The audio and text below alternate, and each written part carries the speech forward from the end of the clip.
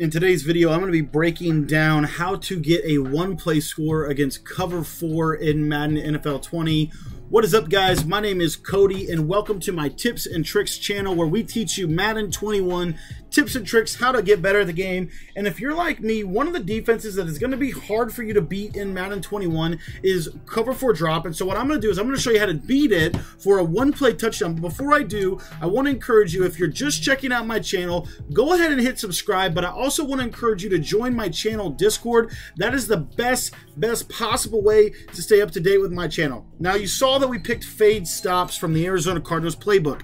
Remember, I said this is the best offensive playbook in Madden NFL 20.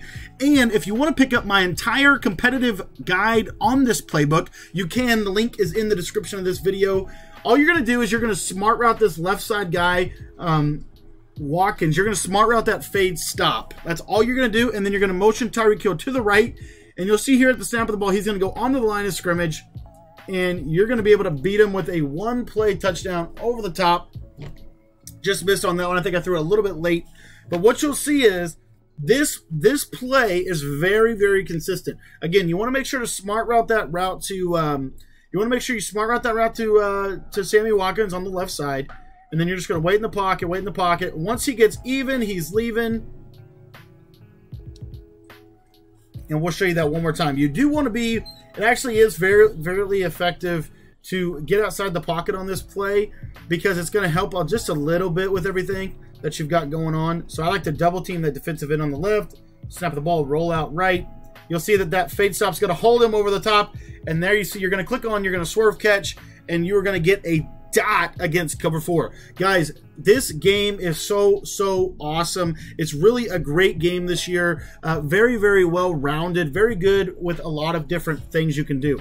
One other option you could do is you could take Sammy Watkins and put him on a smart routed in route, but you see the, the play won't work as well, um, but you'll still get that over the top.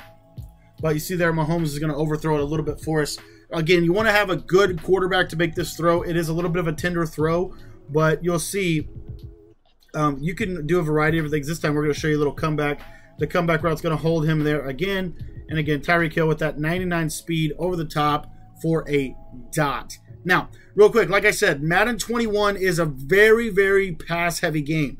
Um, I predicted this when I was talking about it. That's why we talked about Arizona being the best playbook in the game because I believe that it's the best passing uh, playbook in the game. Once you see, once he gets over the top, click on, and you're going to get a nice one play score. This is very, very consistent. So if you want more tips and strategies, what I want to encourage you to do is join my Discord. A link is in the description. And also pick up the competitive guide bundle. That link is also in the description. Let me know how I can help you. You can always text me with your Madden 21 questions anytime. We stream every single night at 10 o'clock Eastern lock up, beat cover four, and we will see you guys in the next video. There's a video on the screen that you can check out that is also going to help you get better at Madden 21.